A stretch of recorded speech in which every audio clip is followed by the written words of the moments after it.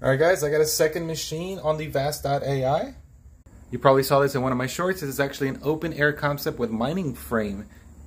The second machine has only been up for about two days, but somebody already picked it up. That is so cool. I also picked up another machine to add on to the Vast.ai. I only paid 200 bucks for this. Facebook Marketplace is actually pretty cool right now around this time of year. The initial setup is still going strong. Now, one thing that I would recommend if you're going to do this is to get yourself some kilowatt meters so you can see how much money you're actually spending. Uh, as you can see, this one has already uh, spent uh, $9.08. The earnings are at $21.95 minus the 25% fee from, from Vast.ai. These move $16.47. That leaves us with a profit after electrical of $7.39. So yeah, this is profitable.